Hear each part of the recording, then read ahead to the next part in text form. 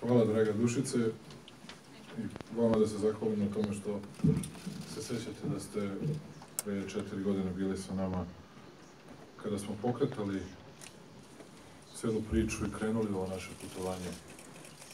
sa Srbijom i sa nečem što je mnogo važnije. Naravno, teško govoriti posle Jamesa, jer je James je rekao i o poslovnim rezultatima i o važnoj nagradi koju uskoro dobijamo u Njujorku i o tome šta će biti posao ovog pozivnog centra. Ono što je za nas važno to je da ćemo imati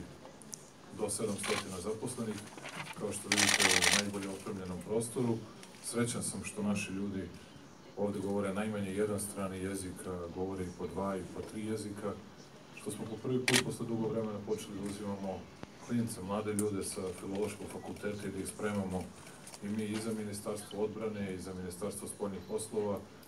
ali istovremeno i za ovakve pozivne centre, što bar jedan deo tih mladih ljudi može sa sigurnošću da računa na posao po završenom fakultetu kada budu uspeli da ostvare dobro znanje pojedinih stranih jezika. Posebno sam srećan što ste u konkurenciji Poljske i Bugarske i mnogih drugih zemalja izabrali Beograd, izabrali Srbiju. Veoma sam vam zahvalan i ponosan na svoju zemlju i na naše građane, jer sam siguran da je njihovo znanje i da su ljudi bili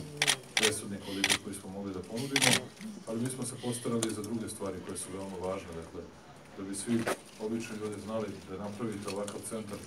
morate da imate potpuno energetsku bezbednost, dakle, morate da imate dva